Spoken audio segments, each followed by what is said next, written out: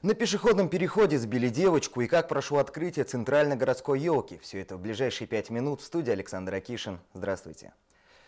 Десятилетняя девочка попала под колеса автомобиля. Произошло это накануне на пешеходном переходе по проспекту Строителей неподалеку от 32-го дома. Водитель «девятки» не уступил дорогу школьнице, после чего и произошел наезд. В результате ДТП пострадавшая получила ушибы и была госпитализирована. Еще одно происшествие произошло на проспекте Шинников у остановки «Детский сад». В результате экстренного торможения маршрутного автобуса в салоне упала его пассажирка 1945 года рождения. Она также была госпитализирована.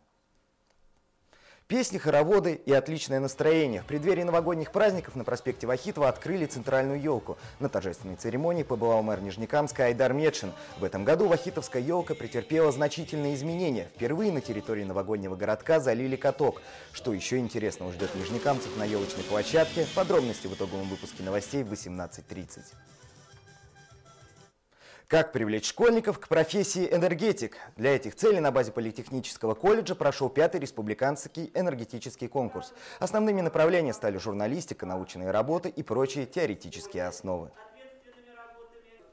Они привыкли помогать нуждающимся. Вокально-хореографическая компания «Новое поколение» уже не первый раз организовывает концерт в помощь больным людям. Анжелика Ульянцева и ее главные помощники, дети-танцоры и вокалисты, считают, что помогать нуждающимся – это не только благородно, но и действенно. Поэтому девиз этой встречи звучит просто «Открой окно в свое сердце».